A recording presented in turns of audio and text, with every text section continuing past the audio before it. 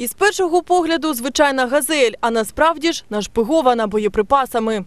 Більше 20 коктейлів Молотова та понад 10 гранат різних видів РГН, РГД та Ф1 знайшли у цій газелі. Інші машини поки що перевіряють. Поруч із цією на складі ж розташувалась інша автівка із секретом. Окрім гранат, у ній також знайшли дещо цікаве. Это, м, бой полноценный вести маловато будет, но где-то кого-то накошмарить и вполне, вполне достаточно. То, что я лично видел, значит, там э, были взрывные устройства, то есть гранаты, эвки были и РГД. Вот, плюс были визитки, фамилия, по-моему, на визитках Романенко. Вот, э, очень много визиток, вот, ну, вот из такого вот, а все остальное, как положено в машинах.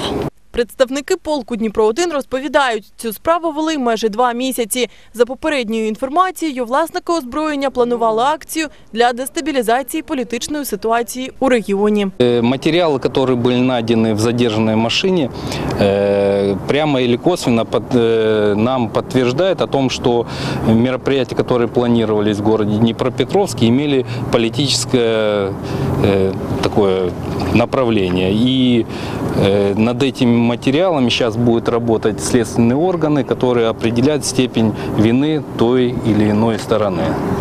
То есть конкретно по нашим данным планировалось нападение на обладминистрацию. Нами была обнаружена и предупреждена данная ситуация. Были вызваны сотрудники милиции и сотрудники СБУ. Сейчас идет работа. Імена власників складу та автомобілів поки що не розголошують. За неперевіреною інформацією, почутою від охоронців та міліціонерів, склад належить відомій виробничій компанії. Проте підтвердити, спростувати або прокоментувати ситуацію взагалі охоронці складу відмовились. Прокоментувати ситуацію.